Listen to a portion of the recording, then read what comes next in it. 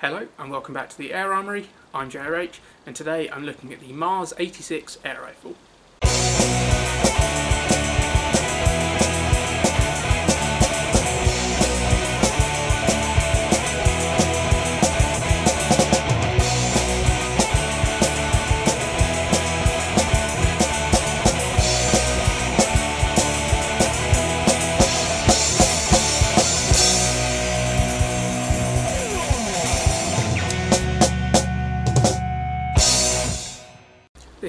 Rifle was manufactured by Venus Waffenwerk in Zella-Mehlis in central Germany. Now, Venus Waffenwerk was originally founded in 1844 by renowned German airgun maker Oskar Will, um, although the company had changed hands by the time this gun was made. I don't have an exact uh, date of manufacture for the Mars 86, but it was going to be around the mid-1930s. Um, and as well as the Oskar Will and Mars airgun brands, Venus Waffenwerk also manufactured Tell airguns. Uh, incidentally though, Zella-Mehlis, where this gun was made, uh, prior to World War II was home not only to Venus Waffenwerk, but also to both Walther and Anschutz, so it's a town with a really good airgun heritage. Now I will show you this rifle up close and do some shooting with it in a minute, but before that I briefly just want to have a look at the background to this gun, as the history of rifles like this is one of the most interesting things about them. Now the first thing you'll notice about this gun, uh, apart from its small size, which I'll come back to in a minute, is that it looks very military-esque. And the reason for that is that this is a military training air rifle, or at least it was unofficially. Now some military training air rifles, such as this one here, uh, the CZ VZ47, were designed specifically for military use. Um, the VZ47 here uh, was made in one of the Czechoslovakian state arms factories and has military acceptance marks on it. This is officially a military training rifle. The Mars 86 on the other hand has a slightly more complicated story. This was made for commercial sale and was marketed as a sporting rifle. Now, when we have a closer look in a minute at a number of aspects of this gun, such as the stock, sights, safety, cocking mechanism and ultimate usage, you'll see that the labelling as a sporting rifle was nothing more than a ruse. Uh, this gun definitely had an ulterior purpose. After the First World War, the Treaty of Versailles of 1919 imposed significant restrictions on Germany's arms production and the size of its military, which include military training. Now obviously Germany did begin to rearm itself and expand the size of its armed forces, especially after the Nazi Party came to power in 1933. But in doing this, whilst there were some things that were hard to keep secret, such as the reintroduction of conscription in 1935, rearmament was done as covertly as possible, as it was in contravention of the Treaty of Versailles. So Germany was in a position of needing its military eligible citizens used to handling military small arms and to improve their marksmanship skills. So Germany had two options really, which were to risk increasing manufacture of their Mauser service rifles and expanding their military training program, which was contravened by the treaty, or they could manufacture military style air rifles, which had comparatively few restrictions on, and sell them on the commercial market as sporting rifles, which they were allowed to do. Essentially, they did both. Uh, they mainly just chose to flout the treaty, but the point to take from this is that there was a big influx of military-inspired air rifles on the market in Germany in the 1930s, which included, but was not limited to, the Bonner Model 2, the Haenel Model 33, the Diana Military Model 30, and the Mars 115, or 115. Now these predominantly saw use uh, as cadet training rifles with the Hitlerjugend, or the Hitler Youth, which was essentially compulsory Nazi scouts for children aged between 14 and 18. Now those guns are the full size and weight of military rifles, so were unsuitable for the younger children in what was called the Deutsches Jungvolk in der Hitlerjugend, which translates as uh, German youngsters in the Hitler Youth, which was the specific section of the Hitler Youth for uh, boys aged between 10 and 14.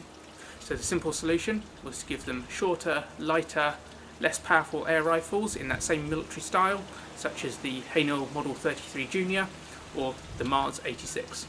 Using these rifles, the youngsters, of which you can see a few in this picture here, would develop their shooting skills and try and earn the coveted Deutsches Jungvolk marksmanship badge.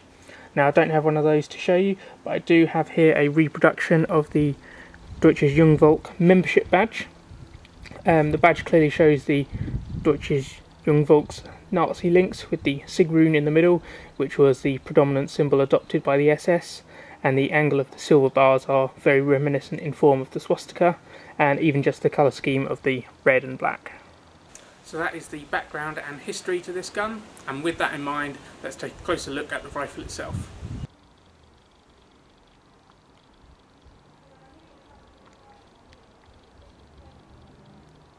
The fact that these were young cadet or essentially children's rifles explains their diminutive size.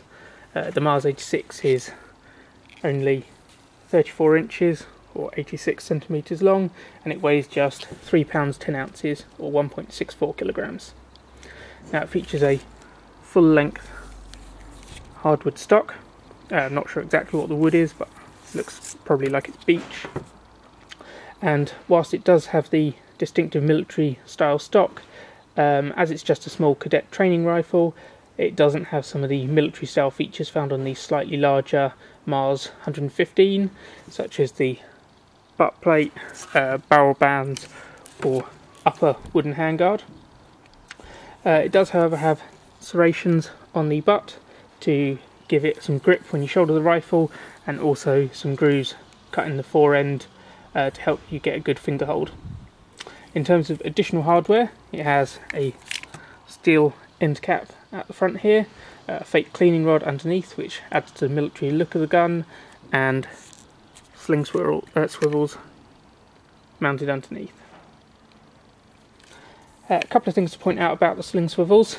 The front, or the rear one there, and the front one uh, are different, but they are original and correct. That's how it's supposed to be.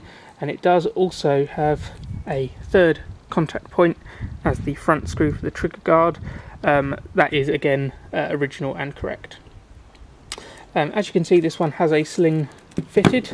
Uh, it's a leather one, uh, which has been glued at either end, as obviously the original uh, buckle or stud, whatever fastened it, has been lost over time. Uh, I've got no idea really whether that's the original. It's definitely an old sling, but yeah, I, I just have no way of knowing whether that's original. Um, the main part of the rifle is essentially made of two cylindrical pieces of steel. Um, this rear one is the compression chamber and this front one is actually a kind of a barrel sleeve rather than the barrel itself and it looks like one just overlaps the other and is then crimped in place. If I open this collar on the top of the barrel sleeve you can see the barrel inside there uh, it's an 11 inch or 28 centimeter barrel. Uh, it's hard to see exactly whether it's smooth bore or whether it has just very well worn rifling. Uh, I wouldn't like to say for sure, it's not very clear from the limited view you get looking down it, and I can't find confirmation in any of my written sources. Now the gun is in 4.4mm, which was the only calibre it was made in, and it fires lead balls rather than pellets. Now, whilst that may sound like an unusual air rifle caliber by today's standards, it wasn't uncommon for guns made in continental Europe during this time period. And I do actually have a whole video looking at uh, lead balls in air guns, uh, so if you're interested in that, I'll put a link to that in the description below.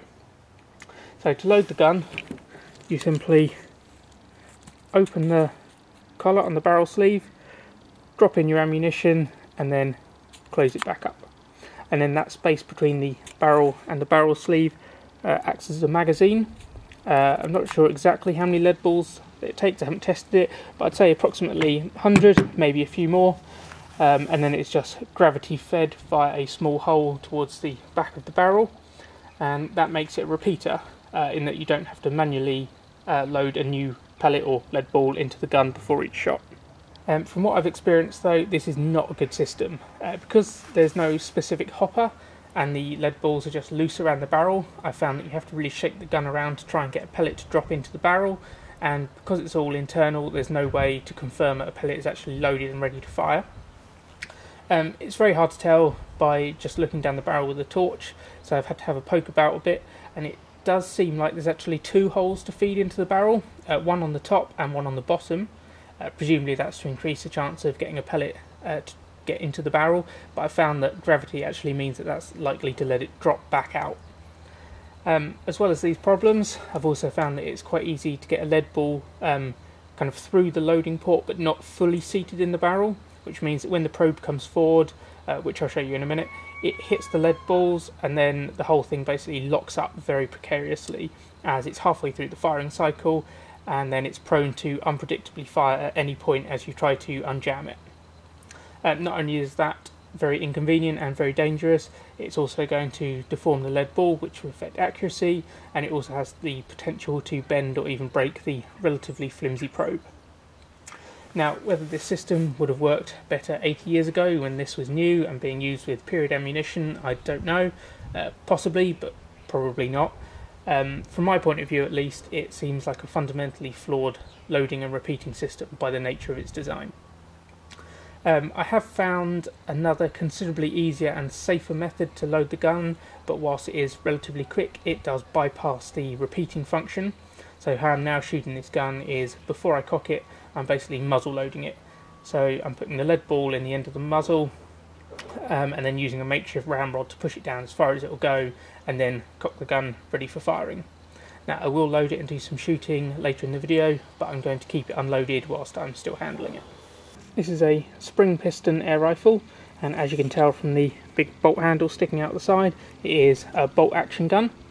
Now bolt actions aren't very common on spring guns, and they're predominantly found on military training rifles of this era, as they were trying to replicate the military service rifles of the time, which were uh, largely bolt action. Now, the Mars 86 has a particularly interesting cocking system, even when compared to other bolt action air rifles, so I think it's worth having a look in more detail. So, with the exception of a select group of pistols, including the Webley Senior, which has the barrel uh, above the compression chamber and therefore has a different direction of travel of the piston, uh, just about all spring piston guns, um, the piston is pulled backwards to compress the spring before being released forward when you pull the trigger. Now I still have the VZ47 out here, so when I pull the bolt handle back, there is a lot of resistance, and that is because um, the bolt is drawing back the piston, which is then compressing the spring towards the back of the compression chamber until it's locked in place by the sear, um, and that is the exact principle, uh, exact same principle as on um, any kind of break barrel or underlever. Comparing that to the Mars 86, once I unlock the bolt, there is no resistance to pull the bolt back. It moves freely back and forward. But once I pull it far enough back to lock the piston on the sear, the spring is then compressed by the bolt handle being pushed back forwards. Um, because of that, it means that the spring is kept compressed prior to firing, not by the piston being held by the sear, but the bolt handle being turned and locked into position. Now, as a result of this, unlike most spring guns, it can be decocked. And to do this, you just bring the bolt handle back to take the pressure off the spring, and then you pull the trigger to drop the sear and release the piston. Now obviously you don't want to do it too much to put unnecessary wear on a gun this old and rare, but as you can decock it, there is something quite satisfying about just being able to rack the action and the bolt back and forwards. Now because of the interesting way it works, it's relatively simple to take apart, as unlike most spring guns, there's no pre-compression on the spring. Um, but technically there is, but not in the conventional way. And you'll see what I mean uh, because I think it's worth taking apart to look at the interesting internals. To disassemble it, you first need to remove the two small screws in the front of the uh, end cap.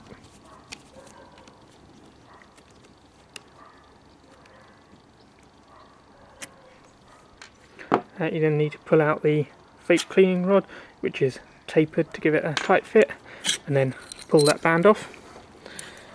And with that nose cap off, the only thing left holding the action into the stock is this one screw uh, in the main cylinder or compression chamber.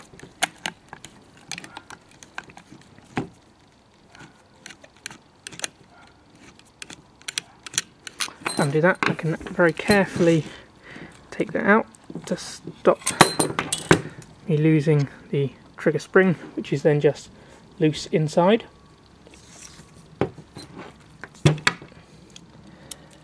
Then the oops, screw up, uh, end cap, safety, and trigger are all just held in with this one pin, um, and that's nice and easy to drive out with a punch as there's no spring pressure on it.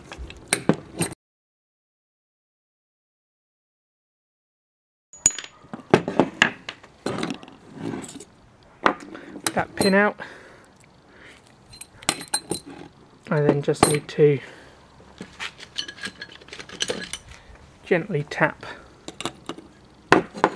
the end cap off.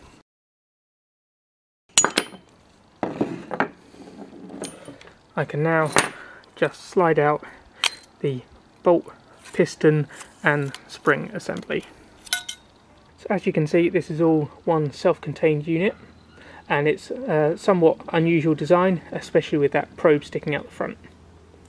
Now, as you can see there's a relatively small uh, mainspring inside there. Uh, it's clearly not going to produce a lot of power but this was a cadet rifle, it didn't need a lot of power and it couldn't have been uh, too powerful as it would have been too difficult for children to operate. Um, there is some pre-compression in it but it is secured in place by these pins. To cock the gun you pull the bolt handle back until the bottom of the piston catches on the sear like that. Then when you push the bolt handle forward, the collar, this bit which it's connected to, uh, then slides over the other part of the piston to compress the spring, like so. Um, in most spring piston guns, as I said, the spring stays compressed by the piston catching on the sear, but because this has already happened here, the spring is kept compressed by the bolt handle being turned down into this slot here. So the other interesting thing about this design is in relation to the probe at the front of the piston. Now when the sear drops, uh, the piston um, shoots forward and this probe then goes into the back of the barrel behind the pellet. Now there are two possible reasons for this design and I'm not sure uh, which one is correct, uh, it could be both. The first, on the face of it the more obvious explanation, is that it gives it an initial extra push to get the pellet moving quickly, but what is, in my opinion, the most likely reason is revealed by looking at the end of the piston itself. So as you can see there are three holes in the end of it. Now when the piston travels forward, because the transfer port at the back of the barrel is essentially blocked by this probe, um, as the air compresses, it's forced into these three holes, which is then diverted in here and comes back out and out the end of the probe. Now, whilst this admittedly seems complicated, there is a point to it. Uh, when the probe is all the way forward, it is past the uh, cutouts in the barrel for the pellets to drop into. So effectively, uh, the end of the probe is the transfer port, meaning that the air starts from a couple of inches into the barrel. So none of the air is lost out of those cutouts and into the magazine around the barrel, which would result in a massive loss of power. I put the rifle back together off camera to save time. So moving on to look at the rest of the gun. The trigger, as you would expect, is single stage and non-adjustable. Um, and the trigger spring, uh, as you saw earlier, is not even actually connected to the trigger assembly. It just sits in a cutout in the stock and is kept in place by the sear lever when the action is screwed into the stock. Now, whilst it is a basic trigger, it's not too bad to use and it is quite nice and solid with it being a milled piece of steel rather than a thin stamped piece. Has a manual safety uh, at the back of the action here. It's a wing style safety, uh, unsurprisingly very similar to the Mauser Kar 98K, which was the standard issue rifle of the German army at the time. So when it is to the left like this, it is on fire. Um, and then when it is moved over to the right, it's on safe and you can't pull the trigger. And the way that safety works is there's a barrel inside that rotates when you move this uh, the actual catch over. Uh, in one side of it, there's a cutout that allows the sear to pivot up into it, um, and on the other side there isn't, so the sear is blocked from dropping. Looking at the sights, the front sight is what appears to be just a very short post, but in fact that should have a bead on top of it. That's obviously been broken off at some point, and that sight is screwed in, so I assume that's so it can be adjusted for elevation, and it has a small flat surface on either side so that it um, is easy to hold to adjust. Has a period uh, military style rear sight and that's held in place with a dovetail so that it can be tapped one way or another to adjust it for windage and then it has a stop screw in the middle so it can be tightened to stop it moving its dovetail.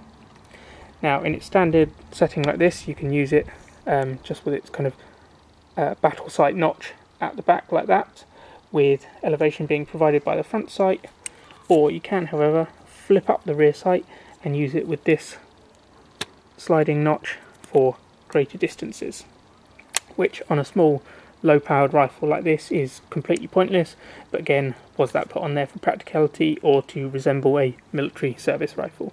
I don't know how well you can see here but the rear sight is range marked with graduations up to 9 uh, I'm assuming that's in meters, and as was the style and technology of the time, there is no facility to mount a scope.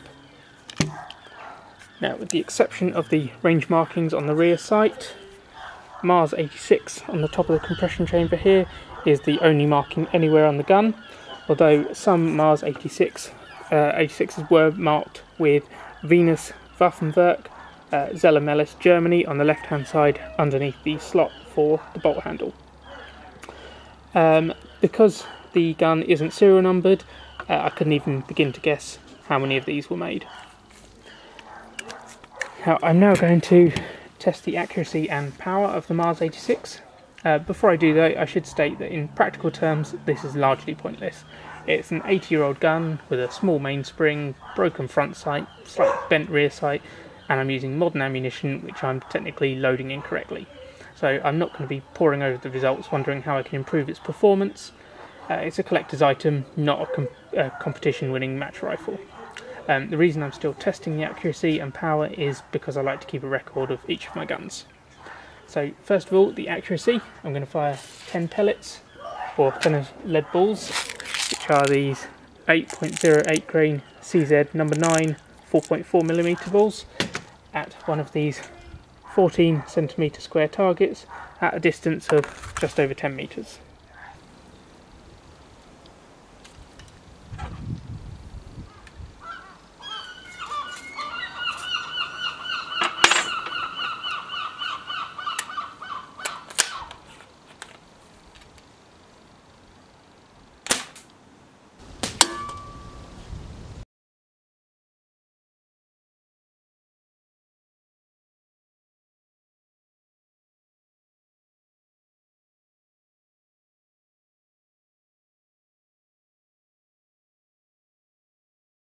Here I have my target. Now there are only actually nine holes in it, so I don't know where that other shot went. Uh, there's one hit on the white background, but the other eight uh, all went within the uh, scoring rings, and from this particular gun, I'm not going to complain about that. I'm now going to test the power by putting another 10 of those CZ number 9 lead balls uh, over the chronograph.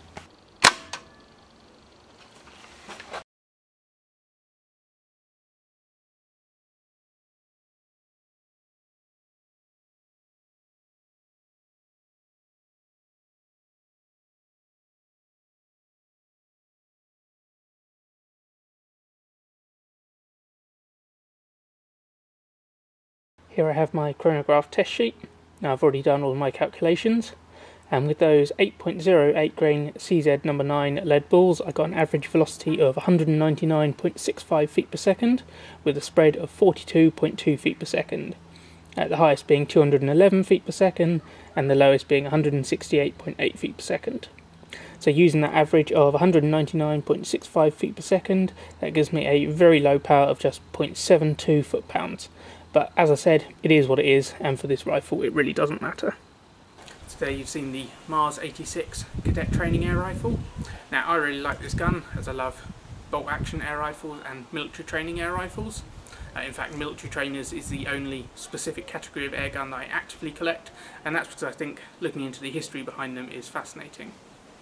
Now I realise that there may be a negative connotation to this gun given its association with Nazi Germany and therefore it might not be for everyone but it undeniably has historical interest and my aim in documenting it in a video like this is to try and preserve history especially as the Model 86 is supposedly one of the rarer Mars training rifles and therefore there's very little documentation on it. I have a pretty good airgun reference library, but the only book I have which describes or even mentions the Mars 86 is the Blue Book of Airguns here, and even that uh, incorrectly refers to it as the 85. Uh, I'm pretty sure that's an error. I'm almost 100% sure there's no such thing as a Mars 85, and both the information and the picture uh, do describe and refer to what's actually the 86. Because of their scarcity, especially here in the UK, they don't come up for sale very often, so it's hard to put a value on the Mars 86. Now this one I paid slightly more than I was hoping to, although still within what I was willing to pay for it. Um, I bought it at auction and all in I paid just under £400 and that's including the buyer's premium and all the other fees. Uh, the actual hammer price was lower than that. Now I suspect that that may be slightly over the market value but I wanted it for my collection. Now this specific example isn't in too bad overall condition given its age uh, and as you've seen it is still in shootable condition so I will shoot it uh, just very sparingly uh, due to a number of factors such as uh, the age, lack of spare parts, availability of ammunition and general practicality. Uh, this isn't going to be something I'm going to be shooting every day. Um, it's definitely more of a collector's item. So, thanks for watching. I hope you found the video interesting, and if so, be sure to like, comment and subscribe to the Air Armoury, and until next time, keep your arms in the air.